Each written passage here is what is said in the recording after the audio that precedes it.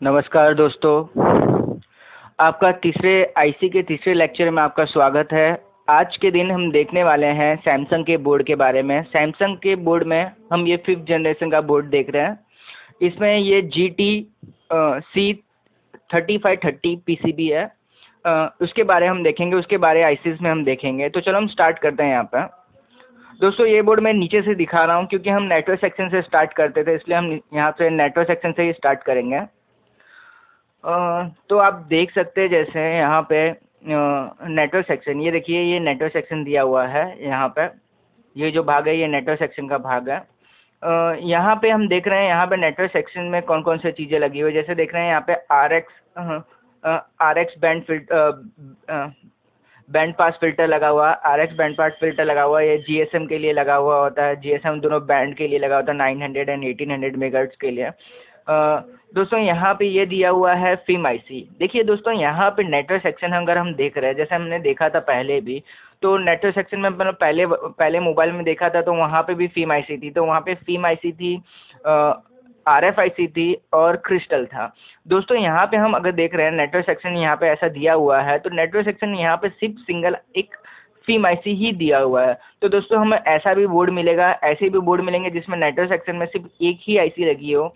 जैसे यहाँ पे हम देख रहे हैं ये फीम आईसी है, यहाँ पे एंटीना एंटीना सॉकेट लगा हुआ है, ये एंटीना टिप्स है। लेकिन दोस्तों अगर ऐसा कोई आपके पास बोर्ड आता है तो उसमें ये जो नेटवर्क सेक्शन बना होगा नेटवर्क सेक्शन बना होगा, जैसे यहाँ पे ये फीम आईसी है फीम आईसी में फीम आईसी सी फीम आईसी मतलब इसमें एंटीना स्विच और पीएफओ ही है। और इसमें जो आर एफ़ आई सी यानी हम जो नेटवर्क आईसी बोलते हैं, वो नेटवर्क आईसी का डिज़ाइन सीपीयू के अंदर ही बनाया गया है। ये हमें किस, कैसे पता चल सकता है? जैसे इसके लिए आप देख सकते हैं यहाँ पे ये R F R F crystal, ये आर एफ़ क्रिस्टल लगा हुआ है। तो आर एफ़ क्रिस्टल जहाँ लगा होगा, उसके बाजू वाली आईसी ये हैगर आईसी होती है, यानी आर एफ़ आईसी होती है। तो यहाँ पे ये सीपीयू के बाजू में लगा है तो इसका मतलब ये जो नेट आर एफ़ का जो आर एफ़ आई सी का जो ये बना हुआ है, डिज़ाइन बना हुआ है, जो सर्किट बना हुआ है, वो इसमें सीपीयू के अंदर ही बना हुआ है। तो दोस्तों, इससे हमें क्लियर हो जाएगा। और देखिए, और एक चीज़ दोस्तों, यहाँ पे मैंने आपको पहले बताया था आरटीसी आरटीसी हमेशा जो लगा होता है, वो पावर आईसी के बाजू में लगा होता है, लेकिन यहाँ पे ये सीपीयू के बाजू में लगा हुआ है। इसका मतलब जो पावर सेक्शन का जो डिज़ाइन है, वो भी इसमें सीपीयू के अंदर ही किया गया है। तो दोस्तों, यहाँ पे हम देख रहे हैं, जैसे यहाँ पे सीपीयू के अंदर पावर पावर सेक्शन भी डाल दिया गया हुआ है। पावर आईसी भी डाली हुई है और हैगर आईसी यानी आर एफ़ आई सी जो थी, वो इसके अंदर डाल दिया गया है। तो दोस्तों, हमने जो देखा था पहले नोकिया के पहले फोर्थ जनरेशन के सीरीज़ में तो वहाँ पे फीम आईसी थी R F R F I C थी और क्रिस्टल था। तो यहाँ पे दोस्तों दो यहाँ पे हमें दिख रहा है आर एफ़ क्रिस्टल दिख रहा है यहाँ पे और फिम आईसी दिख रही है बट यहाँ पे हैगर आईसी है, वो सीपीयू के अंदर डाल दिया गया है। तो दोस्तों इससे आपको पता चल ही गया होगा कि कैसे कैसे बोर्ड मिल सकते हैं हमें। तो दोस्तों आगे हम देखते हैं यहाँ पे। यहाँ पे ये ब्लूटूथ सेक्शन दिया हुआ है अगर आपके मोबाइल फ़ोन में वाईफाई होता है तो ब्लूटूथ और वाईफाई वाईफाई आईसी जो होती है, दोनों एक ही साथ होती है। तो यहाँ पे ये ब्लूटूथ सेक्शन दिया गया हुआ है। आप देख सकते हैं यहाँ पे ब्लूटूथ ड्राइवर आईसी लिखा हुआ है। ये ब्लूटूथ सेक्शन है।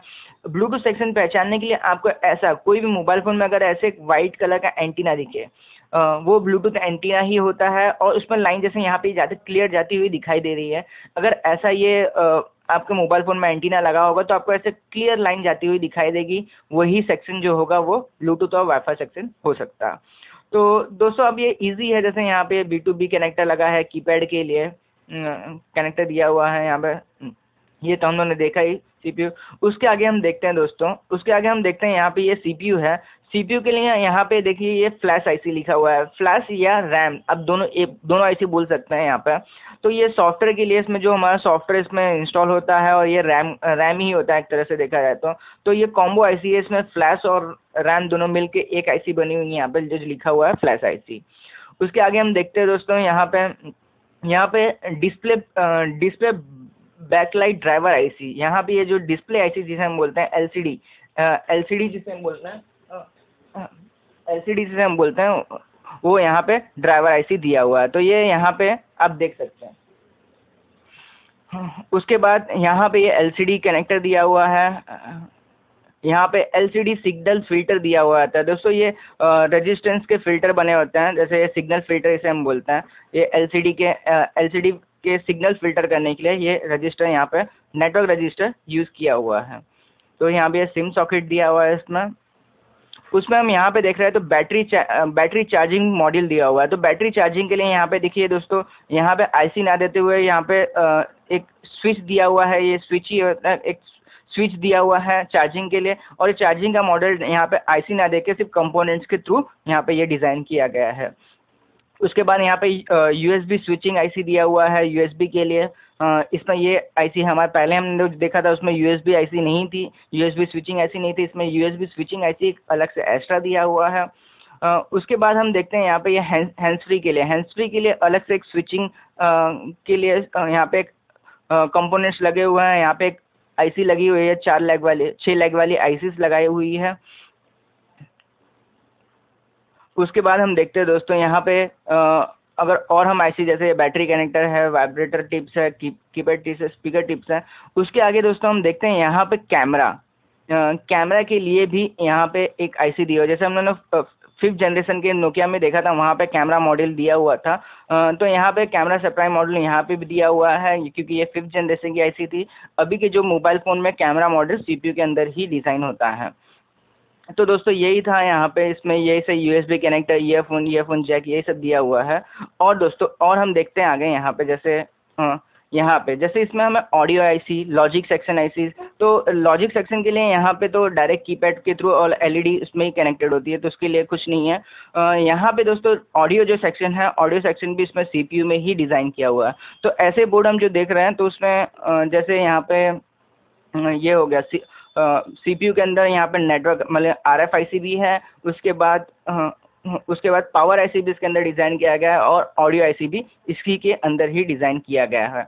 तो दोस्तों, अगर आपको ऐसे सैमसंग के बोर्ड मिले तो आपको ईजिली ऐसे पहचानना है, जैसे ये जहाँ पे एंटीना हो और एंटीना के यहाँ पे ऐसा ऐसा दिखे तो फिम आईसी होगी। अगर आपको आर एफ़ आई सी नहीं दिख रही है तो वो सीपीयू के अंदर डिज़ाइन हो सकता है। आप वो क्रिस्टल के थ्रू पहचान सकते हैं। पावर आईसी को पहचानने के लिए आप आरटीसी आरटीसी देख के पहचान सकते हैं कि हाँ पावर आईसी इसमें कौन सी है।